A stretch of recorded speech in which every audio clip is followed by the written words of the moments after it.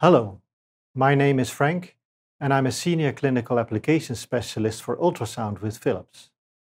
In this video, I will explain step by step the use of 3D Auto RV, a fully automated, fast and easy to use 3D quantification tool for the right ventricle.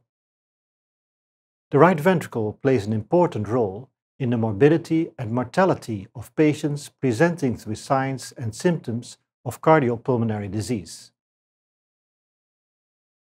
To use the 3D Auto RV analysis, we need to acquire an RV-focused apical four-chamber view.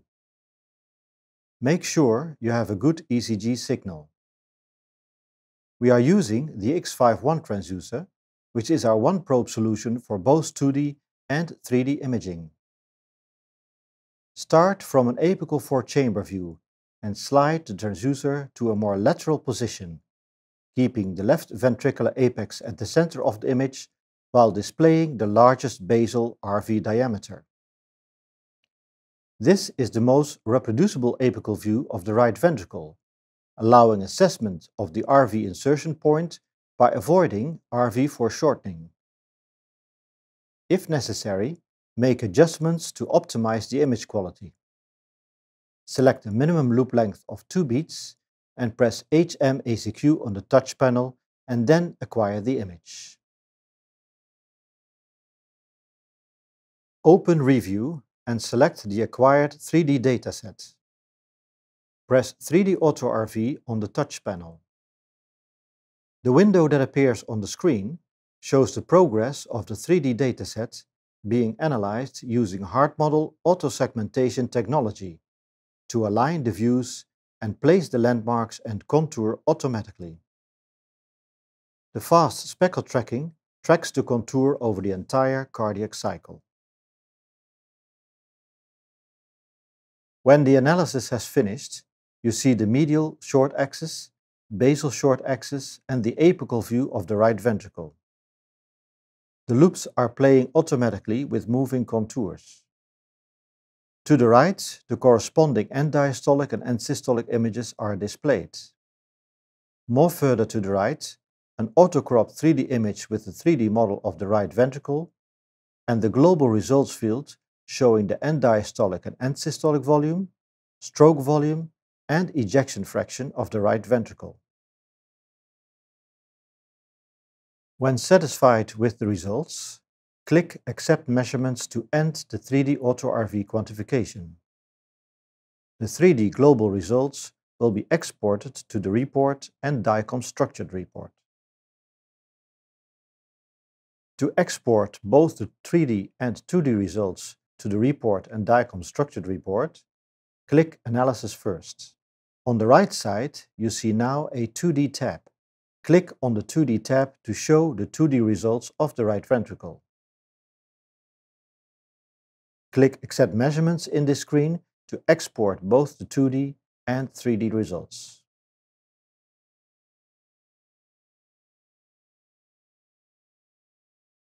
In the rare case that the automated contour needs editing, go first to View Adjustment to check the landmarks and adjust when required. Use the graphics in the left panel to check the correct landmark positions. Note the sequence of the images. If adjustment is needed, move the cursor to the landmark. Click left mouse and use the trackball to change the position. Click left mouse again to fix. When adjustments have been made, click on Tracking Revision in the left panel to reanalyze the right ventricle. By default, the second cardiac cycle is used for the analysis. Go to View Adjustment. Move the cursor to the ECG display and double-click on the first cardiac cycle or click on the arrow to change to the first cardiac cycle. Click on Tracking Revision to see the results corresponding with the analysis of the chosen cardiac cycle. To edit the contours in tracking revision, move the cursor to the right ventricle contour in one of the still images in end diastole or end systole. Click on the square in the right top corner of that image to enlarge the image for better visibility of the contour and click again to return to the previous layout. Click left mouse on the contour and use the trackball to change the position of the highlighted part. Click left mouse again to fix. The size of the highlighted part can be changed by selecting another pen size in the left panel.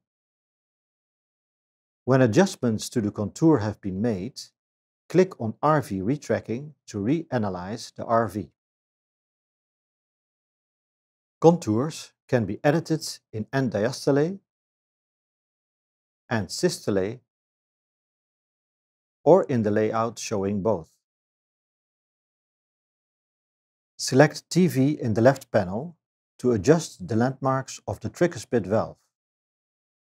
Move the cursor to the landmark, click left mouse and use the trackball to reposition. Click left mouse again to fix. Move the cursor to the arrow at the upper part of the image, click left mouse and move the trackball to the left or to the right side to display the markers pointing out the position of the pulmonary valve. When adjustments to the contour have been made, click on RV retracking to reanalyze the RV. To view and, when required, adjust the 2D measurements, click on Analysis and the 2D tab. To display a 2D measurement, click on one of the measurements. To adjust the measurement, use the left mouse to activate, the trackball to change the position, and left mouse again to fix. Summarizing the 3D Auto RV analysis. Use the HMACQ button on the touch panel to acquire a RV-focused 3D full volume with a minimum loop length of 2 beats. Go into Review and select the acquired 3D dataset. Press 3D Auto RV on the touchscreen. Click Accept Measurements when satisfied with the 3D global results. To view the 2D results, click Analysis and the 2D Measurements tab. Then click Accept Measurements when satisfied with the 2D and 3D global results.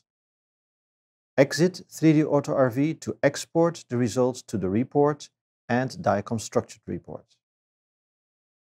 3D Auto RV is another step forward in fast and easy analysis of the right ventricle, giving you 3D global results for ejection fraction, stroke volume, and diastolic and end-systolic volume of the right ventricle, 2D dimensional measurements of the right ventricle, and longitudinal strain values for the right ventricle free wall and septum. This tool provides fully automated, robust RV volumes and ejection fraction measurements to meet your everyday clinical needs for confident right ventricle function evaluation. I hope you enjoyed this video and thank you for watching.